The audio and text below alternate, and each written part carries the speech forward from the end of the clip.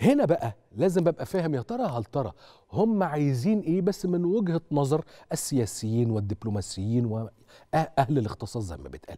معانا على التليفون معالي السفير محمد العرابي وزير خارجية مصر الأسبق. أهلا بيك يا فندم. أهلا أستاذ يوسف ازي حضرتك؟ أهلا بحضرتك. آه يعني مهم عندي إن أنا أفهم أو أسمع من حضرتك رؤيتك لهذه التصريحات أو التقارير اللي بتنشر في بتنشر في الصحافة والإعلام الإسرائيلي حول عملية عسكرية في جنوب القطاع وتحديدا يعني متاخمة للحدود المصرية. وحديثهم للأسف الشديد وهو الزائف المزور حول وجود انفاق ما بين مصر وما بين القطاع وحديث حديث حضرتك أدرى بيها. لا هو شوف حضرتك هو إحنا من يوم 7 أكتوبر ونقدر نقول إن في يعني قدر كبير جدا من الاضطراب في القيادة الإسرائيلية وتصريحات كلها يا إما متناقضة يا إما جوفاء وليس لها أي معنى وليس لها أي مدلول. ويمكن حضرتك لاحظت الأول بدأوا بفكرة النزوح وإن هم يروحوا أهلنا اشقائنا في غزة أن هم ينزحوا إلى سيناء. وإن حضرتك شفت طبعا الموقف المصري كان عامل إزاي صارم قاطع. وفي نفس الوقت كان في تأييد دولي للموقف المصري وتأييد فلسطيني أساسا. الشعب الفلسطيني مش هيسيب أرضه تحت أي ظرف من. الظروف. فاذا إحنا أمام يعني إسرائيل المترنحة للأسف في هذه الأيام. بتطلع منها يعني بعض التصريحات اللي هي لا تتسق مع الواقع اللي موجود على الأرض.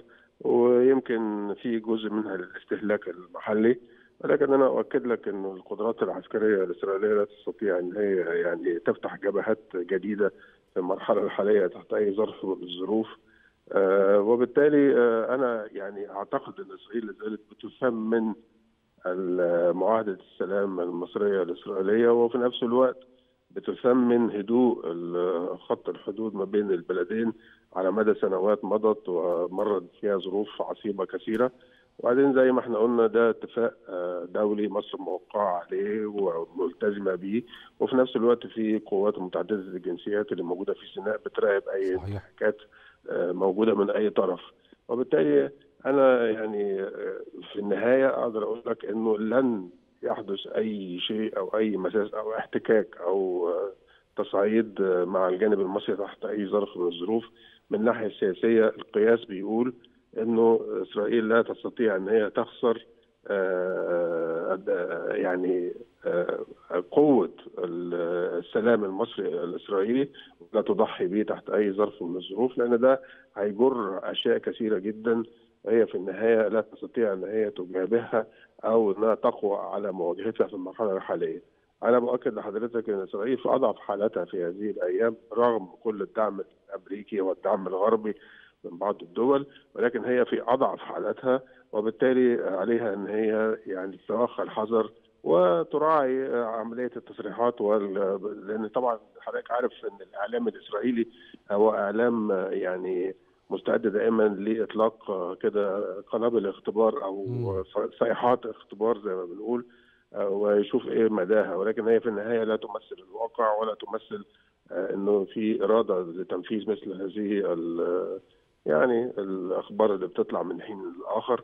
ومصر موقفها واضح وأنا أؤكد لحضرتك إنه يعني أنا سمعت تعليق حضرتك الموضوع مش بالسهولة اللي الناس تتخيلها إنه يكون في هناك أي محاولة ل يعني أحياء قدر من التوتر على الحدود المصرية الاسرائيليه تحت أي ظرف من الظروف ويمكن حضرتك فاكر إن أي حدث كان بيحصل من جانبهم كان بيتم الاعتذار عليه تاني يوم على طول أو في نفس اليوم أحيانا صحيح. نتيجة إن هو فعلا لا يستطيع ولا يقوى إن هو يدخل في توتر مع مصر في خط الحدود وبالذات في هذه الأيام اللي العالم كله مت... يعني حاطط هذه المنطقة تحت المجهر وبيراقب كل خطوة وكل لكن قد يكون هناك محاولات في الفترة القادمة إن هو يسيطر على عملية دخول المساعدات بشكل أكبر.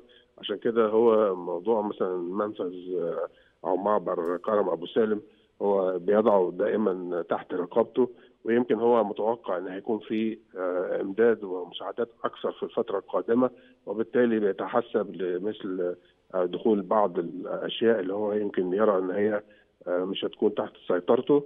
وبالتالي قد يكون هو ده الهدف من الموضوع إثارة موضوع ممر صلاح الدين لأن أنا بحب أسميه صلاح الدين أكتر لأنه في النهاية هو كان اتفاق في عام 2005 ما بين مصر وإسرائيل ودول أخرى على إدارة هذا الممر وإدارة معبر كرم أبو سالم وده كان بعد خروج إسرائيل من غزة.